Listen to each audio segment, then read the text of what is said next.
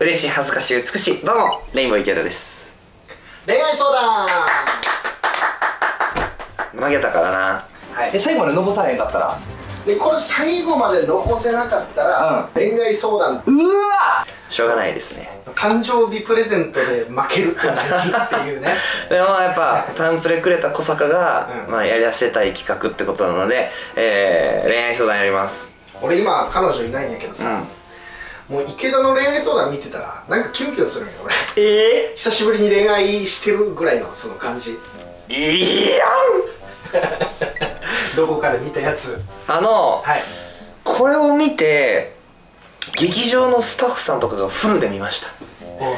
池田さんってそういう恋愛があったんですね。とか友達が「池ちゃん見たで。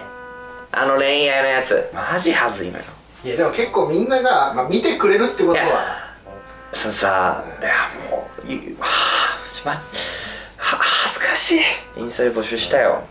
あちょ一回タリーズの無糖紅茶これ飲んでいい？はいいよ。ほっと一息。うんほっと一息タリーズの無糖紅茶。甘くすがすがしい香りだしうまっ。ミニボトル今ハマっててさ冷蔵庫に冷たくて。いや俺が今もらってるさ そうそうそうこれミニボトルな。いや、え違う。これどこで売ってるの？やっぱミニボトルを集めするいろんなミニボトル教えてください。えー、いくか、はい。インスタで募集しました。小坂に負けたから恋愛相談するらしい。飛ぶよ。ほい。おおこれあれやめてな。あの送れなかったです。悔しいですみたいなさ。そういうことではないから。いくよ。恋人とペアルックできますか？できるに決まってるやんマジで出会いがありません。運命的な出会いをしたいです。ラブソースイート流したいです。年齢わかるって。ちょっと俺世代やろこれ。ラブソースイート流したいです。いやいや焦り出して焦らず焦らず。焦らず焦ろう、うん、男友達に紹介してもらうのとかいいよ。待って男友達あかんかも。なんかさ、男友達って女友達の恋愛相談にちょっと上辺で話しがちやねんけど、女友達って男友達の恋愛相談えだったらマジで紹介するわってこのトーンになるよな。これって何？あ女性の方が親身か。女の人の方が親身なイメージ。男の人は「え誰やろな?」で終わっちゃう。でそこに下心も男出がちな気がする。えじゃあさ22でみたいなその男ってこうなるやんか、うんうん女友達ってじゃあ私友達呼ぶからじゃあ3人でご飯食べようよえ何の得がある？女性が優しいとも言えるし、うん。男が自分出しがちとも言える。そうよな、歴代1個2個ここ女友達の友達やもん。へえそうなんだ。うん。ここ2個は。歴代1個目2個目 男がどういう心理かってあるああそうね。その代わりって言ってくれた方がフェア感あっていいんやけど全然全然もう3人でご飯行こう。えなんなん？いいの？ほんまに。楽しい。うんうんいいじゃんねみたいな。なんでこれやってくれるみたいな。ありがたいな。マジで友達やからやろね。女友達。これさ、女友達に紹介してって言うとマジで親身になって何がいいの？っつって。割と本当にお金持ってる人がいい。前がお金なくて。ああとは仕事尊敬できる人がいい。ああえお笑い芸人とかしか周りおらんで。いい全然、てかお笑い芸人いいと思う。めっちゃかっこいいと思うみたい。なえマジで？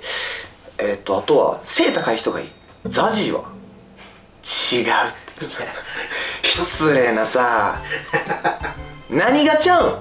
お金もあってさ仕事面もかっこよくて背も高くてさ、何がちゃうん？俺大好きよザジーさん。いや俺も大好きよ。なんやねん。え逆に考えて私とザジーさんが歩いてるとこ想像できる？えできるよ。めっちゃ可愛い。これめっちゃ可愛い。幼馴染の彼はだいぶモテ男でなんだかんだ女がいる。中学でなおさら私のことなんて眼中になし。少女漫画の入り。あーこれはもうめっちゃ友達かもしれんな。眼中になし？なんなの？あいつったら本当に。他の男女ばっか見て。え？一緒に帰ろう？彼女でもいるんじゃないの？ああ俺別れたんだよ。え？ー、そうなんだ。どういう人がタイプなの？なんかさわかんねえけどさ。俺さいつも女の子の前でカッコつけちゃうんだよな。あーだりー。ええー、私の前では一回もカッコつけないくせに。なんでだろう。前の前で。は素直で入れんだよな。思い出ずっとずっと忘れない空二人が離れていっても。えー、いきます。あ終わったの今。終わりました。相談とかじゃないもんな。頑張れ。えー、さらっと言っただけの誕生日覚えててくれてて、えー、0時15分にメッセージくれたんだけど脈ありかな。LINE 登録してるかどうかだけだけどなほんま LINE を自分の誕生日に登録してないのにそれやったらもう俺脈ありやと思うけど LINE を誕生日登録してて0時15分はたまたま LINE 見てあとはもうおめでとうじゃん送ろう。だね。あとスタバ送る人は別にないよ脈あり。誕生日でスタバ送ってくる人は脈ありないよ。気をつけ。スタバが悪いとかじゃない。友達に送るのはいいけど気になる異性にスタバ送んなよ。もう一回思い出させてもらえるチャンスあるからな。物送れば。物送るやろ。配達するやろギフトで。でも届くやろ。その時にもう一回思い出させてもらう。これ時間があんねんからな。よし行きましょう。あで脈ありやったら「ありがとう」って来るよ。届きました。ギフトありがとう。ちょっと行きましょう。あそこへの3000円を惜しまないことやな。好きな人が誕生日です。誕生日プレゼント大黒スタバギフトドーン1000円でいいやじゃなく3000円のものを送ったら2回思い出してもらえるチャンスがあるっていうこの3000円は俺投資の3000円やと思うね。恋愛において。へえ。でもさ変に高すぎたらさなんか気まずくもなんだあその相場難しくなあい2000円台のさ、うん。こう配送ギフトになってるやつとか結構あるけどな。あなるほど、うん。2000円台ぐらいがベストあと1000円足してもう一回思い出す？みたいな。その恋愛どうなん？測る？みたいな。この時間コスパはいいですよね、はい、時間はコスパ。おいおいこれ引け。好きな人から着信拒否されて辛いです。身を引くべきですか？引け引け引け。しゃあないよ。俺 LINE ブロックしてさその LINE を突破して DM とか送んなよマジ。LINE ブロックのさ見方知ってる？んだどうやってブロックされてるか。スタンプ送んねん。スタンプ送る？スタンプを、えっと、プレゼントすんねん。でブロックされてたら相手はすでにこのスタンプを持っていますって表示されるねん。怖っ。これ怖いやろ。そんなんでわかんねや。わかる。ええ。うん。俺最近チェックした。ちょやめてよ。あの時のあの子と思って。やったらあかんです。このスタンプはすでに持ってますみたいな。えー、アリエルやからか？そのスタンプ持ってます。えー、シルク姉さんのも持ってんの？と思って。ああブロックされてんねやみたいな都合のいい関係から本気の好きをどうやったら伝えられますか？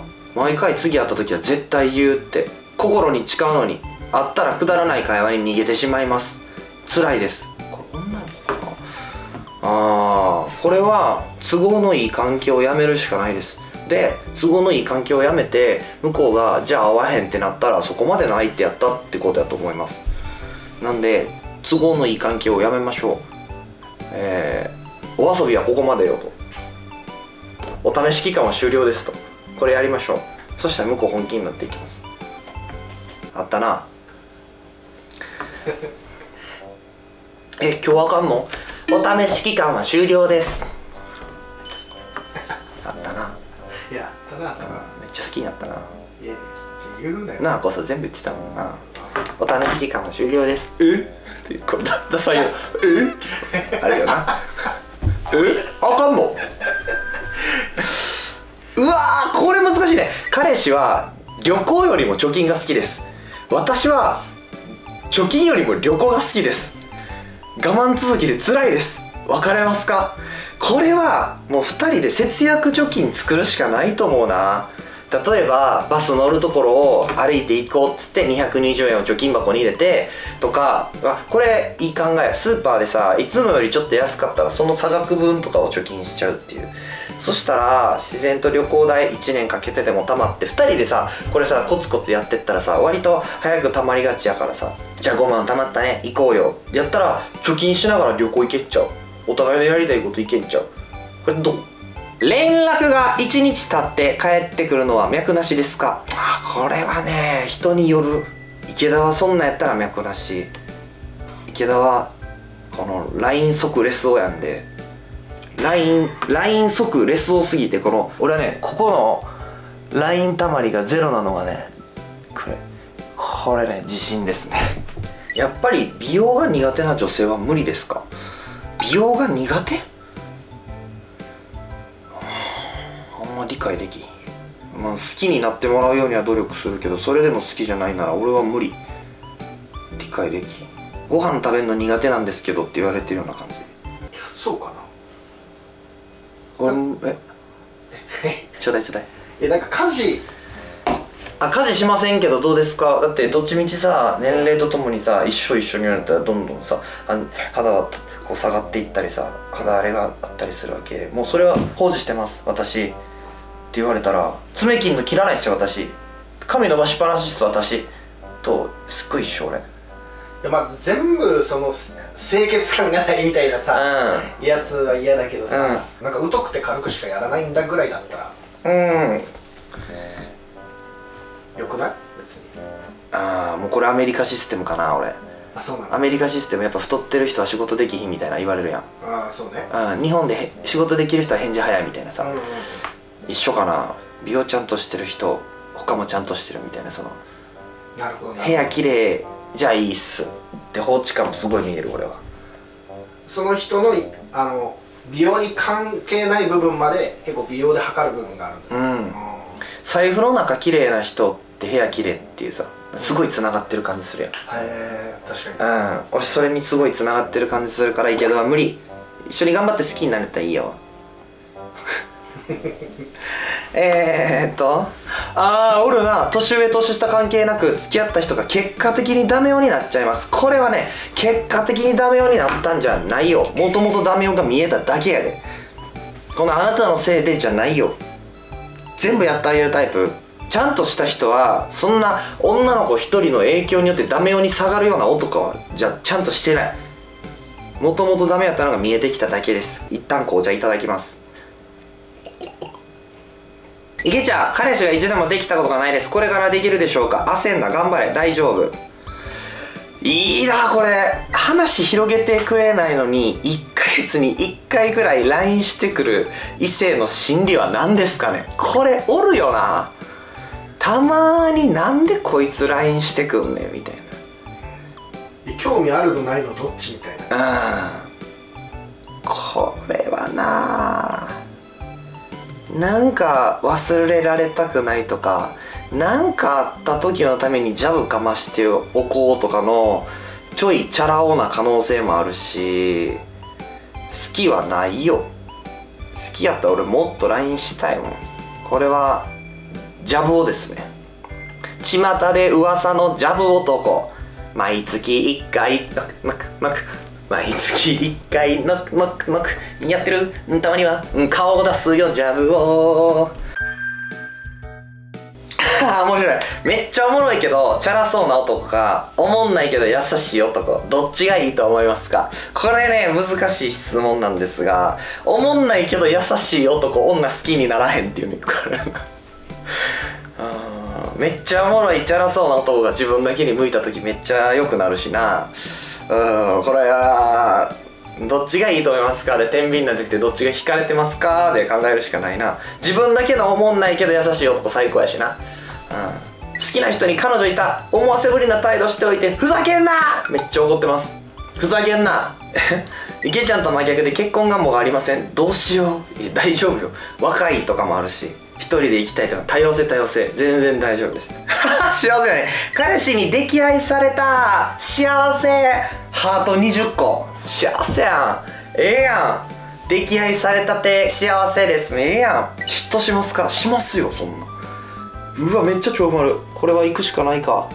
えー、池田さんこんにちは。私は JK ですえーこの前体育祭があった時の話で体育祭終わりに男の子に誘われて私のクラスは部活をしてる人が多いため打ち上げがなかったので遊ぶことにしました。遊び終わって私は申し訳ないと思ったのに何度も断ったのですが家まで送ってくれた、えー帰った後ありがとうと送り少し会話が続いた後に告白されました。私は友達として見てなかったのでお断りしました。告白の仕方はこんなんでよければわらみたいな雑な感じで嫌でした。私は告白するんやったらちゃんとしてこいやと思ったので冗談やめてと返しました。ちゃんと告白したらちゃんとえお返ししますが雑な感じだったので私も雑に返しました。その後も冗談じゃないって言ったらどうする？ああこれね傷つきたくない学生さん。もうもうもうもうここまででいいや。これ傷つきたくない学生さん。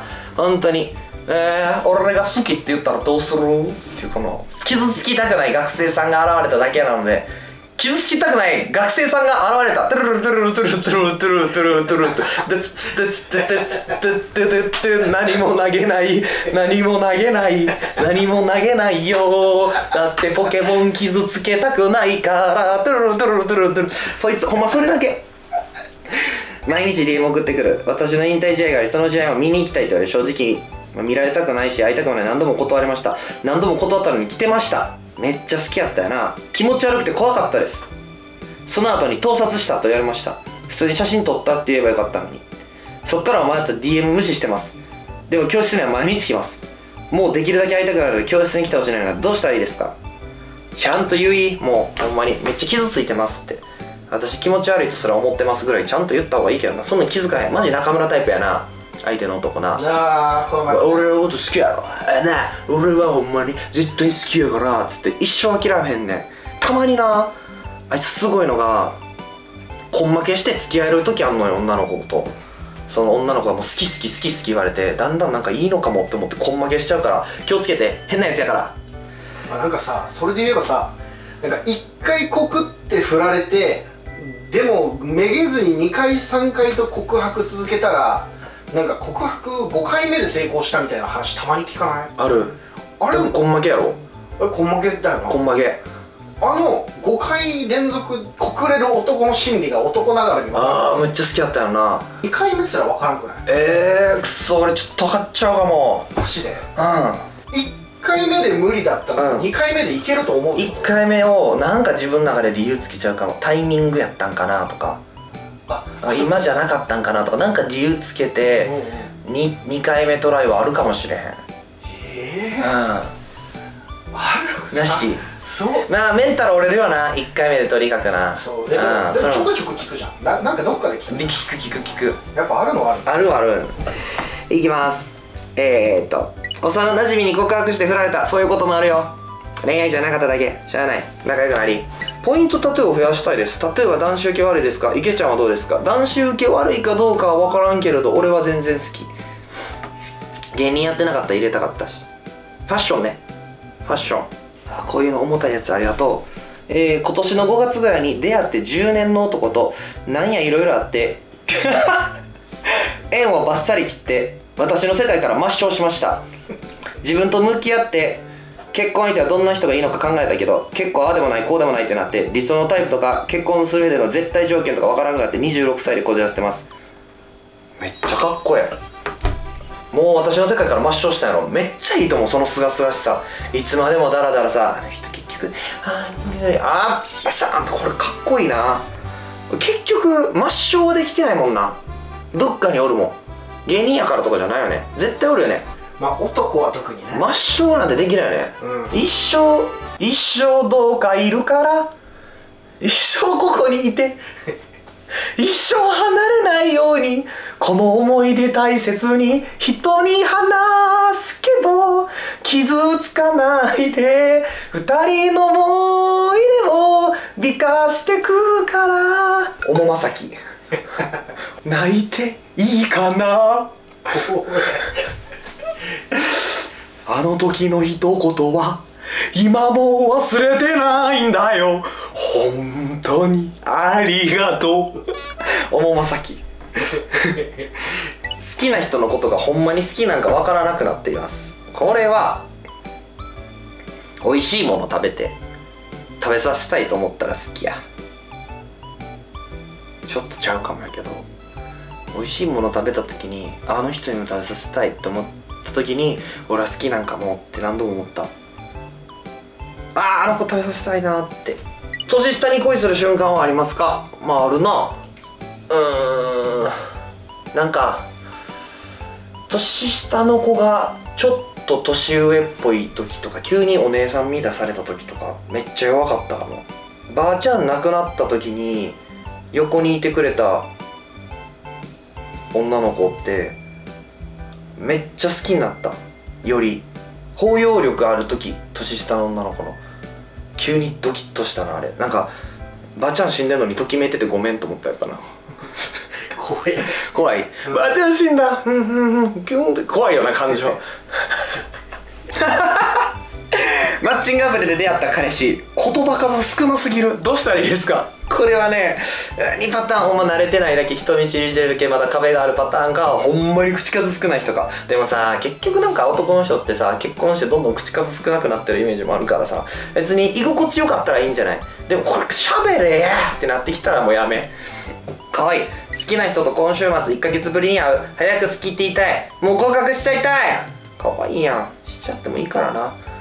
やっぱ今まで一生忘れられへん告白がタワマン住んでる子で下に呼び出されて「どうしたん?」っつって「え告白します」って言って「えおうおう」っつって「好きです付き合ってください」「あそっか俺ごめんな。時間もお金もないのよ」っつったら「じゃああの私時間もお金もあんのよ」って言われて「ええマジ?」ってなって「時間もお金もあるんだよ」って言われて時間もお金もあるんやったらいっかと思って そのまま付き合った。いいやんだから女の子から言ってもいいと思う。うん可愛いし。あるよな。男女4人組のグループで好きな女の子ができました。しかし4人組の仲は壊したくないです。あったよ俺。こうさ4人でさ仲良くなってさここが恋するからさこの恋せえへん俺とケイちゃんケイちゃんはこの何にもんでなんか先にこいつらが誕生日やねん。恋し合ってる2人が6月6月みたいな。でだからみんなでさ買おうよと。か M ちゃんに買おうよと。かで M ちゃんもみんなに買おうよ Y 君にこれ。みんなで買おうよってこれあー買って。俺らこの2人付き合ったかも。あれ？俺俺ら誕生日なないなー。ってこれ終わって。なんてあれほんま腹立つわ。シャツ買ったぞほんま。高校生でキスって早いですか？いや早いと思わへんよ。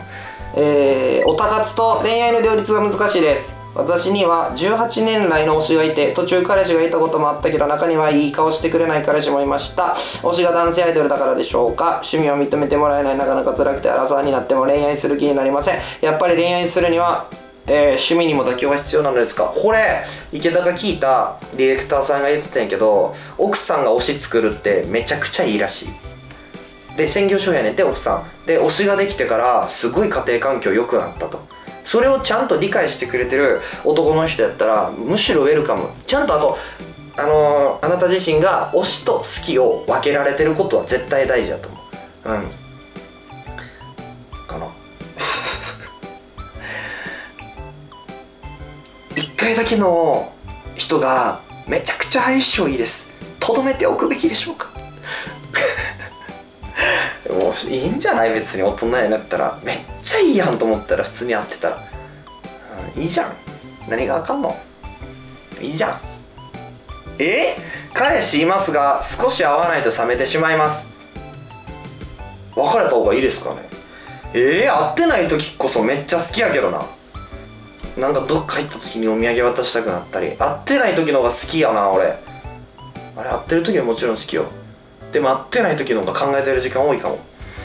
どうしようもないね。好きな人と付き合えたら冷めてしまいます。どうしようもないです。どうしようもない。ゴールそこにすんな。まだ若そう。一緒一緒におるがゴールやぞ。相手に依存しやすいタイプでどうしたらいいか分かりません。これねしゃあない。しゃあないけど別の趣味も作って。あと友達とも仲良く。これバランス崩れたら回るから。でもさ好きな人おる時にさ男友達と会ってる時間もったいなく感じたりするもんな。わかるよその気持ち。好きな人といたいもんね。わかるよ。でもな友達も大事にしないとバランス崩れたらしんどいからな。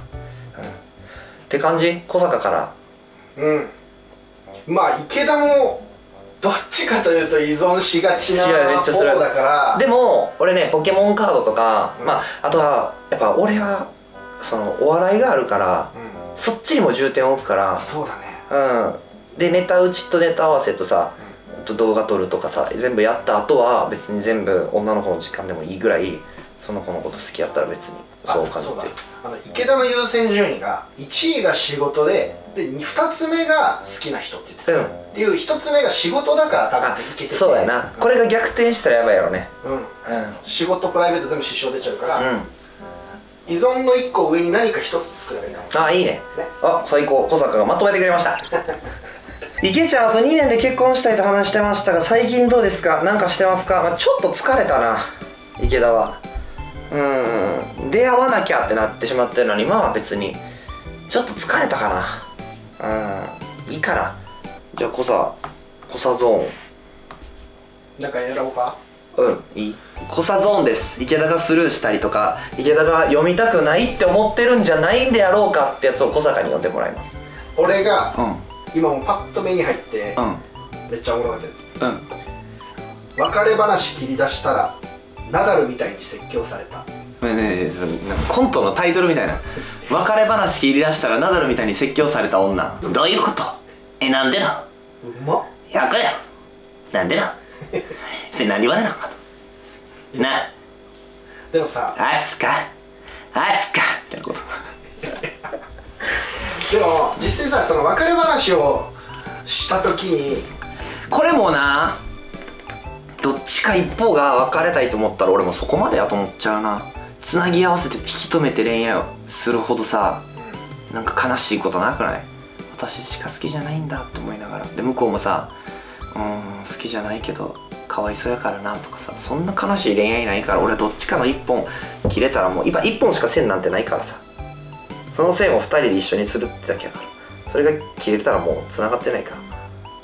でもそこでごめんもう私たち別れようって言われた時にさちょっと待てよの挽回のチャンスってあると思う？もうない？いや俺はやれへんな。無理かな。うん人生2回振られたことあるけど。うんもう無理だ。な無理やな。もう俺すがすがしく分かったよ。ありがとうっつって。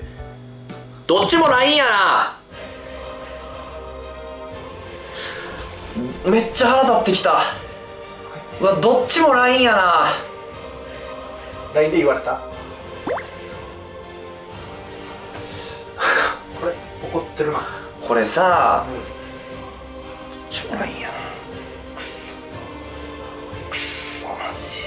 面と向かって言ってほしい。なんか似てんな。今思えば感じタイプ。ええやん。昔のことやろ。はい。はい。気まず。気まず。けちゃんが女だったとして自分よりもはるかに給料が低くお金がない彼氏と結婚できますか？これね周りの20代後半の友達みんなそれで別れてってる。お金がない。お金ないっつってでお金ないから私の家ずっといるとか。うみんなそれで別れてってる。特にさ芸能系同士のカップルってさ女の子が持ってることのが結構多かったりするからそさそう俳優さん持ってないとかさそれこそ若手芸人持ってないとかも多いからさ。でも夢はあるからさ。そうんそういう人いっぱいおるからみんなそれで別れてるからいやーもうちょっと頑張ってっていうしかないかもしれへんなかも早めに決断やなもう。どもうちょっと頑張ってって言われてもさ、うん。相手が会社員だったらまあな。どうしようもないし、うん。この間さ同期が川口にクレープ屋さん出したのよ。うん。チュンズっていうめっちゃ美味しくて。写真載っけてそうそうそうそこ行ってあれ出会いが奥さんの逆なんやねん。でもパブで。でななんで逆案したんですかって言ったら石原っていうね同期の方が。うん。スーツ着ててんて。うん。でもそれはあのー大学の試験官のバイトの帰りやってんて。へえだからあスーツ着てる。ちゃんとした仕事や。と思って行ったら芸人終わりたてのバイ大学の試験官のバイトした石原やってんて。でドボン引いたと思ったらしいね 奥さんが。最悪やと思ったけど奥さんがケツ叩いて頑張れよっつってもういいや仕事辞めようっつって。営業めっちゃ頑張ってた石原が。うん。なんか営業先でなんか辞めた理由が営業一生懸命頑張ってて営業先でなんかやられたんじゃなくて上司とキャバクラに行った時に上司がキャバ嬢にデレデレしてるの見て気持ち悪くなって辞めたっていうその 謎な謎な辞め方をした石原君がいんねんけど帰って相談したら「辞めなよ」みたいなそんな職場って。で私と一緒に何が好きなんだっけって言って僕クレープそんな喋り方いいし僕クレープ私もクレープ好き。よしじゃあ一緒にクレープ屋出そうっつって一から急にクレープ屋始めたの。たくましい。めっちゃたくましい奥さんかっこよかった。あこういうパターンもあるんだって俺すごい感動した。で 家を買おうよっつって、うん。35年ローンで奥さんが理想の家をバーン買ってで石原が「もう俺あの俺あの要望とか一個も言ってない。もう全部任せてる」とか言って「はい作って!」とか言って「あはい」とか言ってくれる 字がなくなってた。でもそうやってあのケツ叩いて一緒に頑張ろうよパターンもあるからうんうん。なんとでもなるんかなうんでも周りの友達多いな20代後半の悩みで。別れてる人も多いし。その人がめっちゃ好きやったらしゃあないけど好きじゃないなら他見てもいいかもしれん。そこが一生ストレスになる。んだな一生一緒におる人やからな。なんかちょっとしっかり真面目に重たいのもいこうかななんか。うんちょうだい。私は今高1で子持ちバツイチ8個上の人と関係を持ってしまいました。おお関係を切りたくても切れません。もう一回言って。私は今高1で子持ちバツイチ8個上の人と関係を持ってしまいました。は？関係切りたくても切れません。ほんまに言ってる？キリキモいからその男。えむっちゃキモいでそれ。な何してるのその男？でも高1だからさ。うんいやなな。怖いんじゃない？なんか。いやいやいや犯罪やからな普通に。何してるんそのいややめやそんなん駐輪場で一人の男子からもし今告られたらどうする？って言われたんですけどどういうことですか？傷つきたくない男子 B が現れた「テルテルテルテルテルテルテルテルテルツテテツテいけどうするどうするおどうする高校生の時両思いだったけどすれ違ってしまい振られるもなんだかんだ忘れられず8年片思い中です8年高校生の時高1やとしても23歳。そうね。うわたったね。それでもさもう思い出のその人に恋してるだけじゃない？その人も前に進んでるし美化された思い出の中と共に生きて言い過ぎてない？小学校の時好きだった女の子 今好きとかはないけど、うんうん。すごい綺麗わかるわかるわかる。あるよな。うん。うん。中学の時に好きやった女の子とさ再会することになってさうん東京出てきて「うん。久しぶりやな」っつって「めっちゃお笑いハマってて」っつって「誰好きなん?」っつって「アシナス」って言われて「アシナスか。い 」うわこれめっちゃいい。ちょうだい。ちょっと俺っぽいし。好きな人が何年もできてなくて。ああ小坂だ。人生クソ楽しいけど恋愛の楽しさも久しぶりに味わいたいああ小坂だね送った？ん？送ったやろ？いや送るか小坂やんこれ。あなんで俺が送るの？いやでもでも超分かった今。あーなるほどな、うん。ちょっと別やもんね。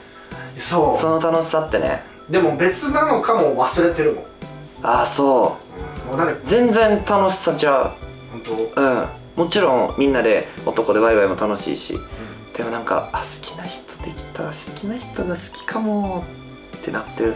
えー、この人これ喜ぶかなって。キュンキュンしてる自分に会えるってさ恋愛しかないやんキュンキュンしてる自分がまだ心のどこかにいるけどおるからそれを気づいてないってう。んまあ無理せず無理せずその人が現れるのをこう待っていただいて。もしかしたらその石原パターンでハブおったら急に逆難パターンもあるし。ハブにいることないもんなでも。なかなか。おもろかったなあの話。もうすぐ高校最後の体育祭で気になってることどうやって写真を撮ってもらうか悩んでます。ゆいも。そんな一生後悔するからゆいうんえー、それで透かしてくるやつ。なんかさ思うのよ。これ透かされたらどうしよう。透かされてそんなやつ好きになってないよ。透かしてこい。好きになった人いい人や。信用しな、うん、好きになった人を信じてみな。一回な。でその人が透かしてきたらそいつはそこまでやったって思いな。ジャッジメントはあなたの面に中にある。お疲れした。また何かで負けた時とか誰かに言われた時やりましょう誰かとコラボした時とかね。あコラボした時？にねあれでしたなんかいつもよりさっさ終わろうとしてない？なんかその顔の感じ。なんかやっぱ恥ずかしかったんで、はだいぶ途中ノリノリやった時あったけど。い、まあ乗ってたなかなりまあまあ人にはいろんな恋愛観もありますので皆さんもそのこれが正解だと考えすぎず。えー、こんな考えも一個あるんだなぐらいに思っといていただければと思います。以上レインボー池田の恋愛相談悩みエピソードでした。それでは。バイバイ下手くそ。